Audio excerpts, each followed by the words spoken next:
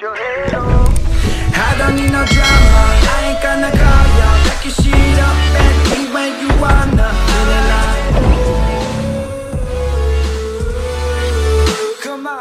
Eh bien bonjour à tous, on se retrouve pour une vidéo d'actualité sur Fortnite. Alors on va parler dans un premier temps d'un- d'une réaction d'un joueur qui critique l'état compétitif de Fortnite au niveau de la saison 5 parce qu'il y a pas mal de choses euh, qui posent problème, notamment euh, les fameux glitches d'invisibilité ou d'invincibilité.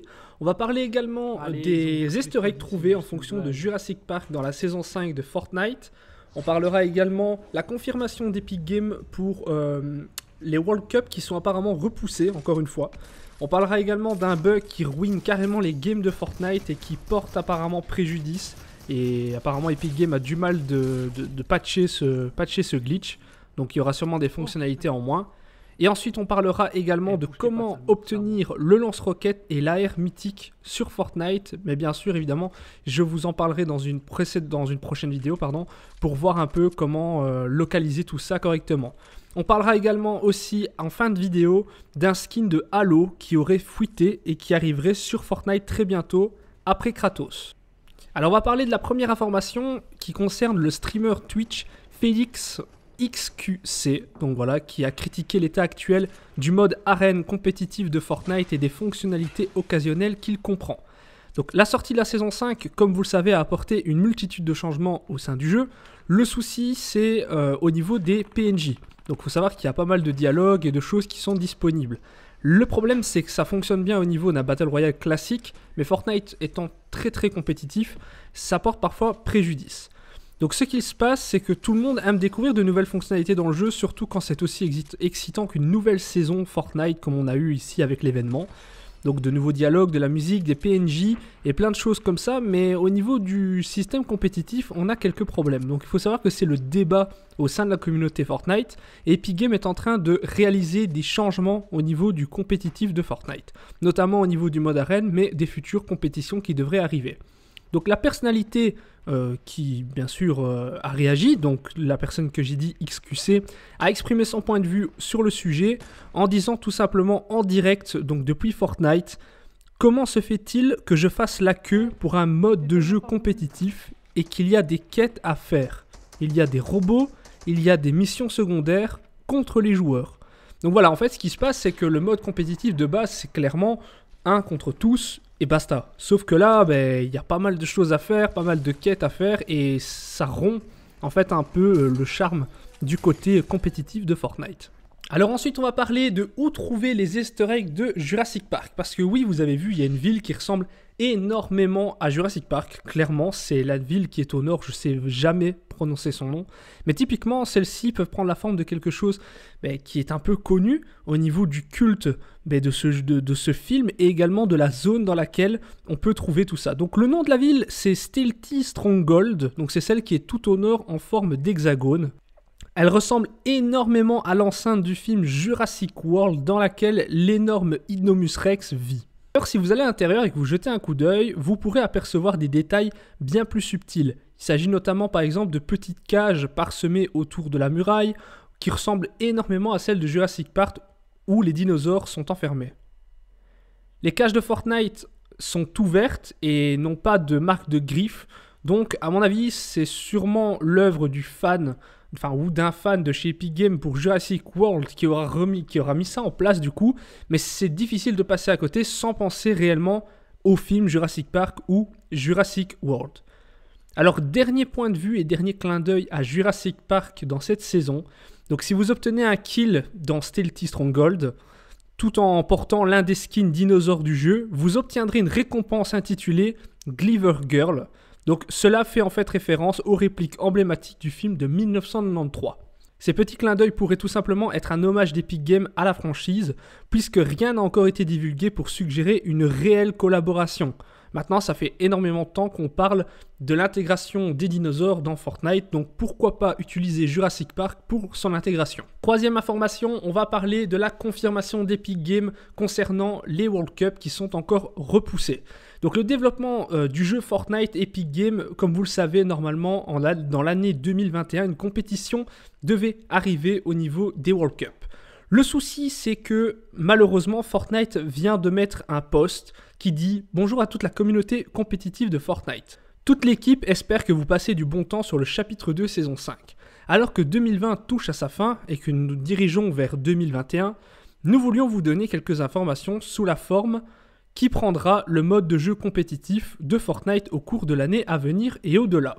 Alors au niveau des tournois en personne, malheureusement Epic Games parle de repousser la World Cup parce qu'ils préfèrent préserver la santé de leurs joueurs que vraiment le tournoi en lui-même. Donc Fortnite World Cup y compris sera malheureusement repoussé.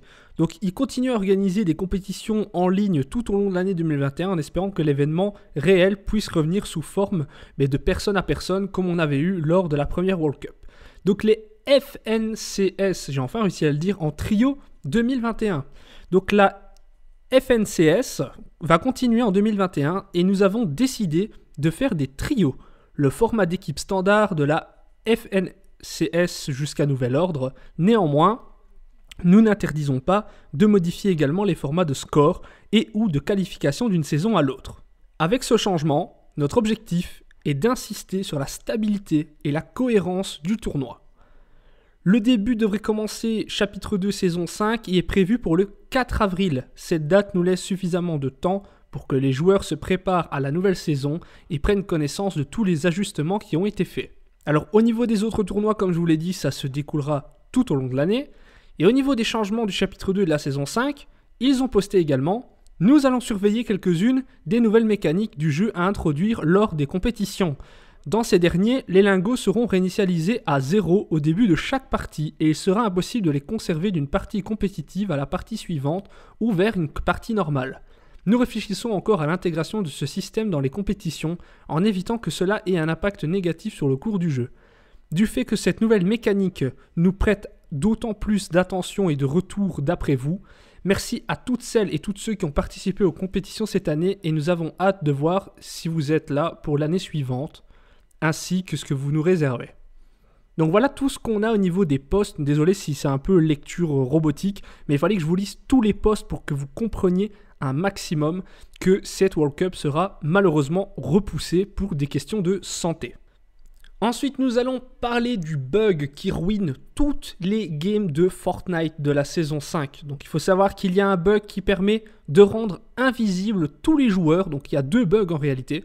Alors il y a le glitch que je vous ai présenté sur ma chaîne et je vous invite à aller le voir. Je vous mets la petite pop-up en haut à l'écran. Ça vous permettra d'aller voir comment réaliser le glitch au niveau du Colosseum. Donc dépêchez-vous avant qu'il soit patché, profitez-en même si je sais que c'est assez relou. Donc il y a un bug malheureusement autre que celui-là qui a été trouvé et il est assez révolutionnaire. Étant donné que grâce à de la constru, donc un simple escalier et du sable, vous pouvez par un mouvement rapide vous hisser en fait sur votre construit et devenir complètement invisible, tirer à travers vos construits sans que forcément vous détruisiez celle-ci. Donc c'est complètement pété. Ça veut dire que vous pouvez à la fois être caché et tuer des gens. Donc ça, ça porte en fait à préjudice au niveau du système de compétition, mais au niveau des games de Fortnite. Fortnite n'arrivant pas à retirer ou à patcher ce glitch, ils vont, à mon avis, et je pense, maintenant dites-moi vous dans les commentaires qu'est-ce que vous en pensez, sûrement enlever la fonctionnalité de pouvoir s'entasser dans le sable et se déplacer en petit tas de sable. À mon avis, ça va être retiré parce que le glitch est trop important et il y a trop de, games qui sont complètement détruites. Alors, avant-dernière information, puisqu'à la fin de la vidéo, je vous parle d'une information encore plus importante, les amis, parce que là, c'est what the fuck complètement, parce que vous allez voir que c'est ouf. Alors déjà, on va parler de celle-ci. Donc, comment obtenir le lance-roquette et l'air mythique sur Fortnite? Bon, alors tout simplement, ça va être très très simple. En fait, pour obtenir votre lance-roquette et votre fusil d'assaut mythique, il faudra vous rendre auprès de Slurpy Swamp, où vous allez devoir en fait euh, ben, tuer euh, Ricus dans Fortnite. Donc vous lancez une partie, vous sautez dans le bus direction Slurpy, vous dirigez au niveau du petit complexe à l'est au bord de l'eau, vous cherchez le PNJ appelé Ricus, vous le battez et vous récupérez son butin qui consiste à avoir un lance-roquette et un fusil d'assaut mythique. Donc l'un des moyens les plus simples pour vous débarrasser de Ricus, c'est de construire quelques murs à proximité de lui, et ainsi vous pouvez l'abattre sans problème avec des tirs dans la tête, parce qu'il est très relou si vous ne mettez pas des murs. Gardez néanmoins à l'esprit qu'en plus d'avoir une santé plus élevée et un lance-roquette et une arme complètement pétée, euh, ben, ce PNJ est en fait euh, un des plus puissants des PNJ du jeu. Donc si vous galérez déjà contre les bots, dites-vous qu'au niveau du PNJ, ça va être encore plus chaud. Et alors là, les amis, on va parler d'une information méga, méga, méga, méga importante parce que Epic Games va nous ralasse les gens. Ils vont nous donner des trucs. On ne sait pas quoi, mais ils vont nous donner des trucs. Donc je vous explique. En fait, il y a eu un problème. Enfin, pas un problème. On a eu un glitch XP d'une erreur de la part d'Epic Games. Donc je vais rassurer tout le monde. Tous ceux qui ont fait ce glitch ne vont pas être ban. C'est voilà, vous ne serez pas ban, absolument pas.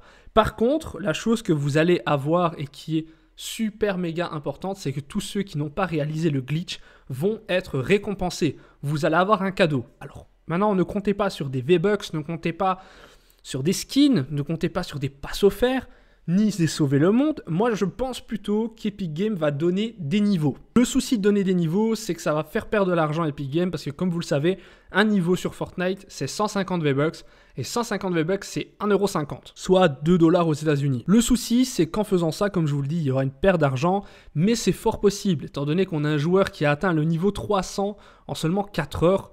Donc c'est fortement possible que Epic Games donne quelques niveaux aux joueurs qui n'auraient pas usé de ce glitch. Alors je sais pas comment ça va fonctionner, est-ce qu'ils vont donner des niveaux à ceux qui sont faibles niveau? Parce que moi j'aurais quand même le seum de ne pas recevoir la récompense des niveaux ou de ne pas avoir d'XP, tout ça parce que j'ai passé le niveau 100. Alors que moi, ben, j'ai mis des thunes pour y arriver. Et donc du coup voilà les amis, c'est tout pour cette vidéo, je vous ai quand même fait pas mal d'informations, j'ai pris du retard parce que techniquement toutes ces infos, ben, vous auriez dû les avoir en deux vidéos, mais j'ai pas su tourner de la journée et vous avez la vidéo relativement tard.